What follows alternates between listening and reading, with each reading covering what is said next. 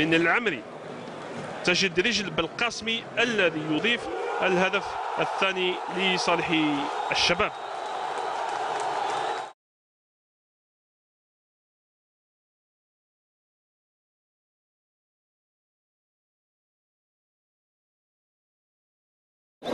Yeah.